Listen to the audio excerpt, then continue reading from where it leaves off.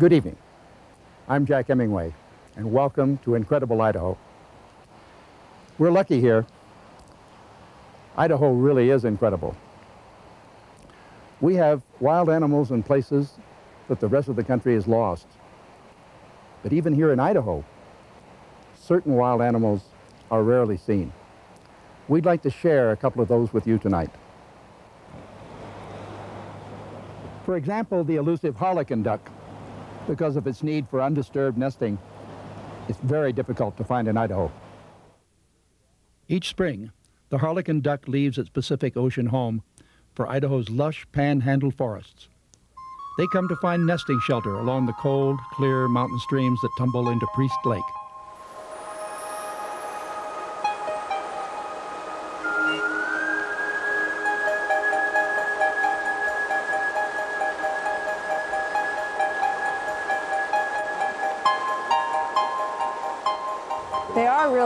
Unusual, that, and that's what's one of the neat things about them is they're so beautiful.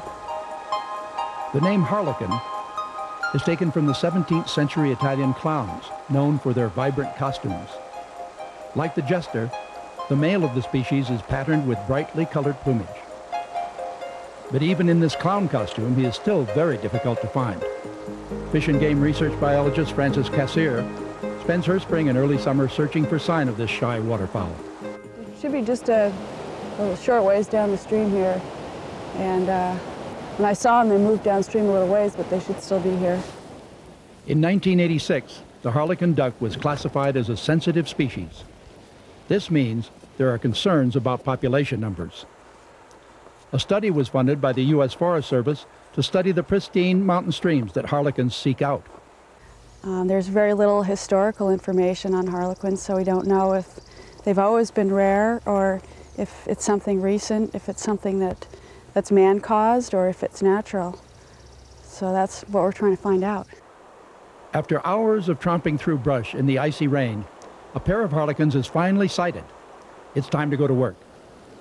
A device called a mist net is strung across the fast-moving water. It's pretty hard to see it.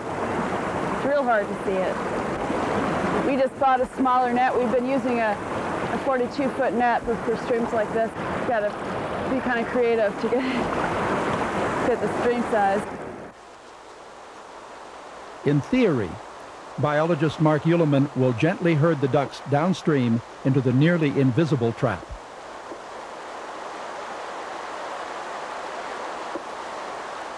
But in the wildlife world, theories don't always play out. Somewhere along the way, the harlequins escape. And it's back on the trail again for Frances and Mark. We want to find out um, movements of the ducks on the stream, and we're real interested in finding out nesting areas. Another pair is spotted, and the biologists go back to work setting up the mist net once again. They're the only duck that's adapted to living on these, to breeding on these fast water streams. They don't breed anywhere else. They don't breed on lakes or slow-moving rivers. They only use uh, fast-moving mountain streams. This time it pays off. When the ducks swim into view, Mark startles them into flight, right into the net. The biologists rescue their catch, a brightly colored male. The female eludes capture once again. We're going to band him with a Fish and Wildlife Service leg band, and then we're going to um, take a couple of measurements and nasal mark him. If this had been the female, a radio transmitter would also be attached, allowing researchers to discover more about their unusual nesting habits. Some things we've been finding out about them are, so, are somewhat similar to other sea ducks. They, uh, they have long-term pair bonds that's over several years, even though they split up when the female starts incubating. So they have to find each other again back out on the coast. The study has revealed that even though they migrate to these nesting streams, they may not breed, or they may be failing at it. It's one of the many mysteries still surrounding these beautiful birds. But that's just what intrigues researcher Frances Cassirer. One thing I enjoy about this work is that generally we tend to think that you need to go to, to uh, South America or Africa to study species that people that aren't known very well, but yet here in Idaho we have a, spe a number of species, and one of them is harlequins, where very little is known about them, so uh, it's pretty exciting uh, just learning their, about their life history. Luck is improving for the Harlequin research team. They discovered a nest in an old hollow cottonwood. So far, the hen and her seven eggs are doing just fine.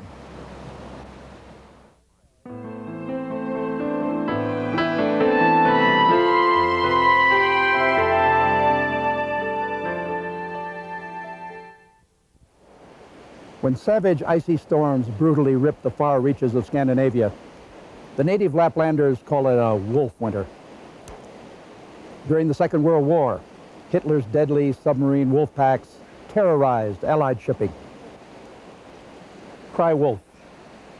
Wolf in sheep's clothing. Wolf at the door. Throughout history, wolf has implied evil. But what's beyond the folklore? What do we really know about the wolf?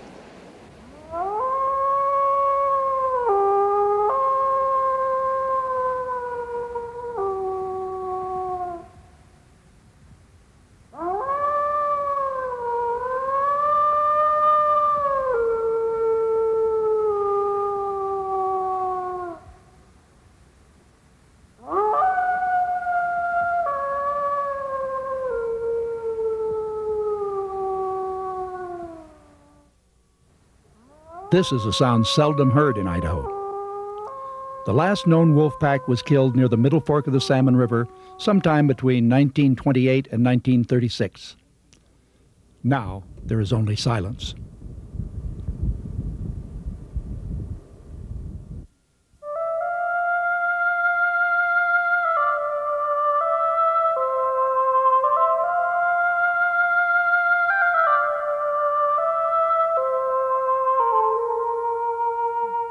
For thousands of years, the wolf roamed the mountains and valleys of Idaho. Elk, deer, and vast herds of buffalo shared the land and provided a prey base.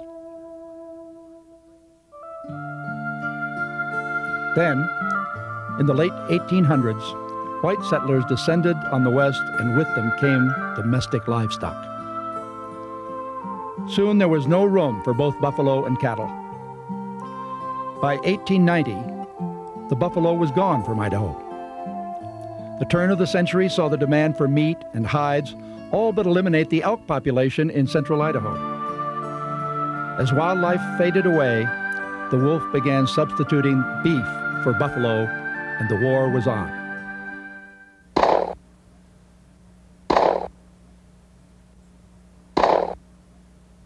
Strychnine poisoning and bounties on wolves at the turn of the century devastated the wolf population.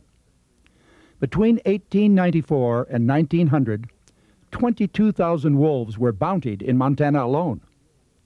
In Idaho, few were left by the 1930s.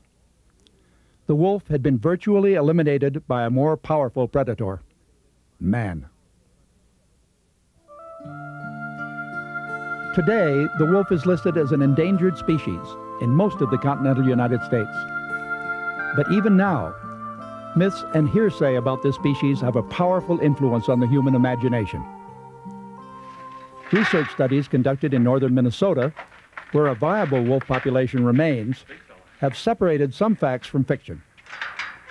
The proximity of wolves in farmland prompted this study on depredation by Steve Fritts of the U.S. Fish and Wildlife Service. Well, as I recall, the figure is somewhere around uh, three tenths of a, of a percent uh, on an annual basis uh, suffer uh, depredations. Farmers in Minnesota are compensated by the state for verified livestock losses, and offending wolves are trapped and removed. In some cases, uh, you see management practices that probably predispose farmers to having problems. One of the practices that we identified is uh, disposing of livestock carcasses, uh, you know, animals that die over the winter by just dragging them a short distance from, from farmyards, and we think that this attracts wolves. Still, most wolves live near livestock without causing problems. Across the Idaho border near Missoula, hopes were high that six orphaned wolf pups could stay away from the cattle in Nine Mile Valley. Yeah, I think it's a wait and see. I, I think most people, as long as they leave the cattle alone, there's not uh, any big problem. Rancher Ralph Thisted had a special relationship with the pups. when it was established that both parents had been killed. Ralph agreed that the U.S. Fish and Wildlife Service could leave roadkill deer in his front yard for the pups until they could make it on their own. Early in the morning, Ralph would grab his video camera and wait for the pups to make their appearance. As far as having them here, uh, I don't know. I just, uh, I still don't know for sure.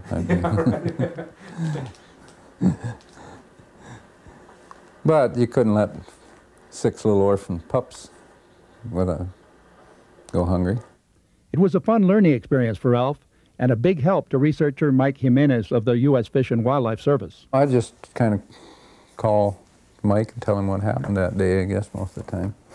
Oh, how many, when they came out, and I think he asked me to watch for, you know, if one limped or had a, you know, after the trapping. Last fall, the wolves were trapped to radio collar them. This way, Mike could track their movements as they grew more independent.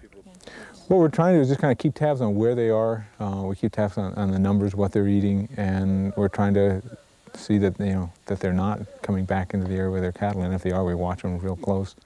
Late this spring, the pups did depredate, killing a steer on a cattle ranch. In compliance with the Endangered Species Act, they were caught and removed from the area. We've come a long way from the days of poisons and bounties. Here in Idaho, more than 600 wolf sightings have been reported since 1974. Researcher Rob Cords of the Payette National Forest is hoping to confirm reports of wolves along the South Fork of the Salmon River. Well, here's our uh, one of our camera sets. Basically what they do is they've got a little tripwire that goes out to the uh, carcass, and when the predator comes and disturbs the carcass, it sets off the camera, and they take their own picture. Another device is a motion-sensitive camera. It's an infrared camera that's triggered by the movement of a warm animal. It's important for biologists to secure solid evidence of the presence of wolves. Sightings by the public may not always be reliable. People are commonly mistaking coyote tracks for uh, wolf tracks. As you can see, there is a great deal of difference in the size. If there are wolves here in Idaho, and the evidence points that way, will livestock depredation figures mirror those of Minnesota? Annually, less than one half percent of farms suffer a loss to this predator. It's a very, very tough question. Uh, there's so many variables in this. My gut feeling is that uh, the uh, depredation losses here will be somewhere in the same general range as they are in, in Canada uh, and in Minnesota.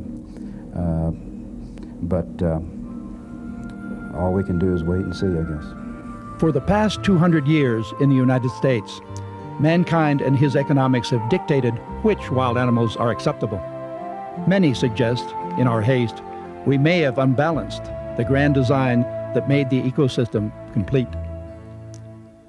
Perhaps, with more maturity, society can overcome the myths and folklore woven around the wolf, and we can once again thrill to the sound of wild things in the wild places of Idaho.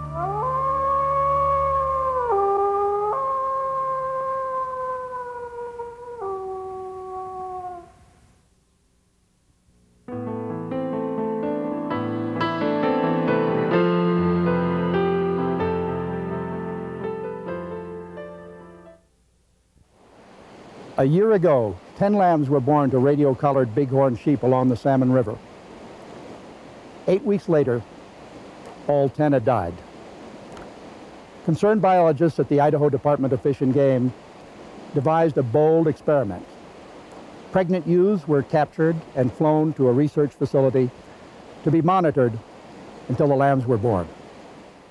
Last month, Incredible Idaho brought you along on the two capture operations, one at Big Creek Drainage and the other near Challis on Morgan Creek. The decision to capture a wild animal is not made lightly. Stress to the animal is inevitable, and even more so when an animal is pregnant. But attempts to study diseased lambs in the wild provided little information over the last two years, except the fact that bighorn lambs are still dying at an alarming rate. This year, we're, we're taking some out of the wild. We're being a little bit more aggressive, but we're going to get a good database from these animals After nearly six weeks at the research facility, the sheep appear ready to drop their lambs.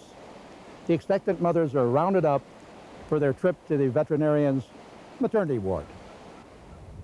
They have uh, several diseases, which any one of which could cause the demise of the young ones. But remember, if the mother had the disease, she should have produced antibody that will be passed on through to, to the youngster.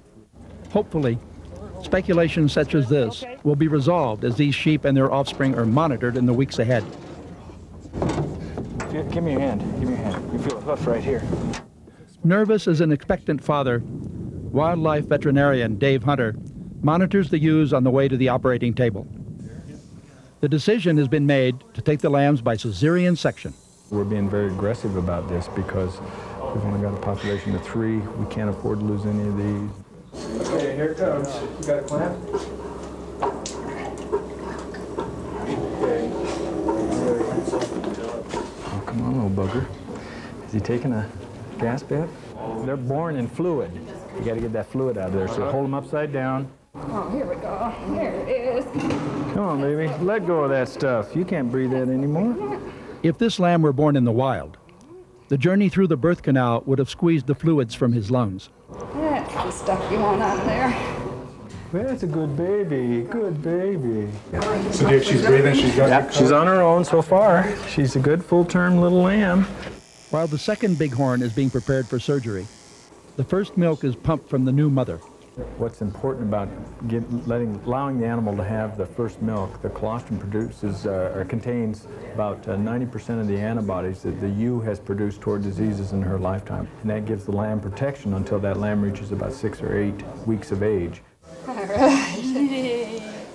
Is that just like mom? Another healthy lamb is pulled from the womb of his mother. This marks the first time lambs have been taken successfully by cesarean section from wild sheep. Isn't it a pretty little thing? Three weeks later, the lambs are king of the hill and of everyone's heart at the research facility. Right now, they're healthy as can be. We take blood tests now. It'll be every two weeks, and it'll be every week once we put them back with their mothers. And we're going to check for disease exposure, and we're going to check for the signs, early signs that something's going wrong. The third sheep delivered her lamb naturally.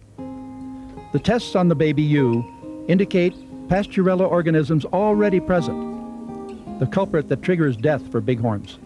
The little lamb is already geared up to have problems, but you can see from the way this little guy's running around that she's not having any problems yet. So whatever kicks or trips this Pasteurella over to be, become more virulent or deadly, uh, we, we can see that it's not in the little one yet. So Now it's a waiting game. This is the critical time for these little lambs. At three to eight weeks, they must begin producing their own antibodies, or they will succumb to the same diseases that killed last year's lambs in the backcountry. It's a waiting game as well for wildlife veterinarian Dave Hunter, but the quiet moments have their rewards. Something very soothing about coming up here about 10 o'clock at night for the last feeding, and it's kind of dark in this heat lamp. And you're feeding them, and that kind of suckling sound, you know, they'll come up and they'll snuggle up to you right afterwards. It's, it's almost like bonding with my daughters when they were young. Dave Hunter reports that the smaller of the two male lambs is beginning to show signs of disease and may possibly die. But what can be learned from this little fellow may possibly save a whole generation of wild lambs in Idaho's backcountry.